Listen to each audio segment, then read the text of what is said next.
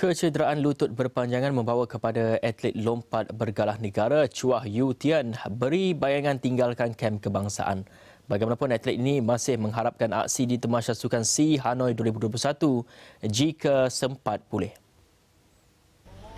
Yutian terpaksa bergelut dengan kecederaan lutut kiri sejak penampilannya di Temasya Sukan C Filipina pada 2019.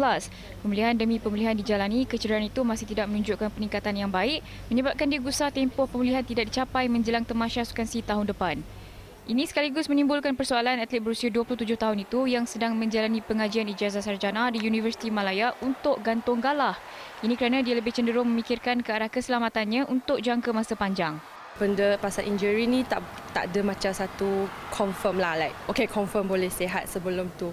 So sekarang ni I cubalah sedaya upaya untuk uh, I do anything I can to make it heal so that I can get back to training cepat sikit lah. So tak adalah terganggu sangat. Worst come to worst kalau injury I memang sakit and it affect my jumps yang I macam tak boleh training ke then I think kaki I got first macam I won't make it worse lah. Sebab kaki ni nak nak guna lama lah